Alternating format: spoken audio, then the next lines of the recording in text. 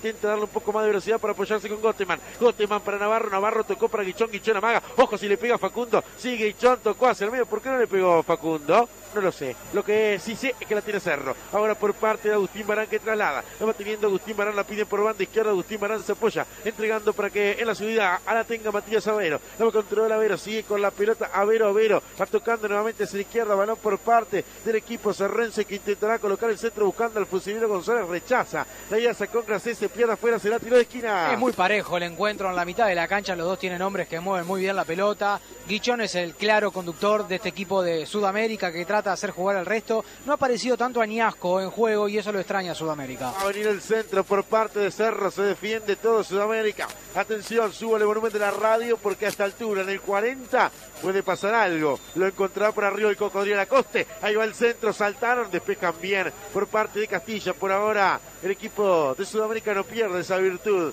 que lo tuvo con Carrera y Guillermo Rodríguez en la primera rueda. Prácticamente un equipo que es muy difícil hacerle un gol de pelota quieta, pero al no tener esos dos ya no es la misma garantía. Por lo tanto, mira se aparece Ramos ahora. Mete en el centro área, saltó Cocodrilo, la pelota rebota en la mano. Penal, penal, penal, penal. Penal, penal, penal, penal, penal. Penal, penal, penal para Cerro. Termina viendo una mano en el área cuando lo buscaban en el segundo cabezazo Ramos penal para el equipo Villero que en el minuto 40 busca el gol. Y fue claro, porque el centro cae sobre el punto penal. El que salta más alto que el resto es el cocodrilo Lacoste, que logra cabecear y de espalda salta Facundo Guichón y extiende demasiado los brazos y ahí termina pegando la mano. Es clarísima la mano del jugador de Sudamérica. Es claro el penal a favor de Cerro. Bueno, hay una tarjeta amarilla en el equipo de Sudamérica. Para Guichón Facundo. Bueno, bien, Facundo en definitiva, el hombre que termina metiendo la mano en el equipo de Sudamérica. Penal por parte de Cerro. Este Cerro que quiere aparecer en el campeonato.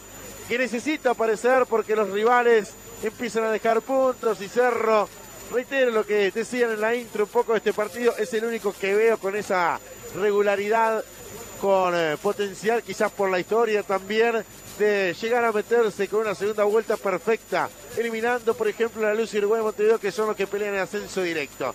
Como el año pasado, Danubio y Defensor quizás corrían con esa posibilidad. Bueno, lo veo en Cerro, con una segunda vuelta, recuerdo también muy buena el año pasado, pero no le terminó alcanzando al equipo que en aquel momento dirigía al Rifle Pandiani. Ahora con Adinolfi. Va a venir el penal. Me parece que en definitiva va a ser Emiliano Sosa, Mauro, el que va a patear, ¿no? El número 9, Nicolás González. Bien, va González entonces. Va a venir el fusilero Nicolás González por el 19 el 9. Va a ir al 9. Va a ir el goleador, como siempre. El fusilero González, al cual Sudamérica es uno de sus rivales preferidos. Le hizo dos goles en el Trócoli en el encuentro de ida que esta noche de viernes, donde Cerro supo ganar ese partido por tres tantos contra dos. Le va a pegar el fusilero Nicolás González, larga carrera para delantero. En el arco, Estefano, perdón, un atajador de penales y los hay. Le va a pegar a la pelota Nico González, toma carrera, el remate al arco. cerró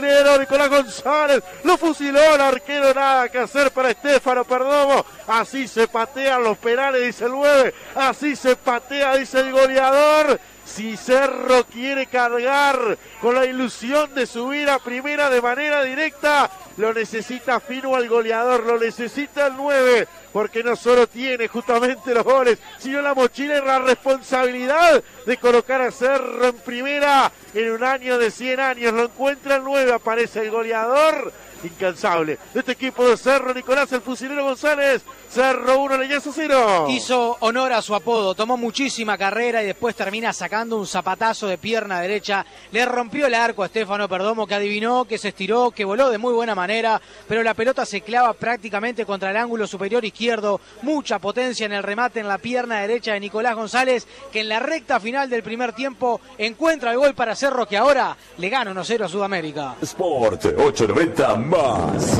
mucho más.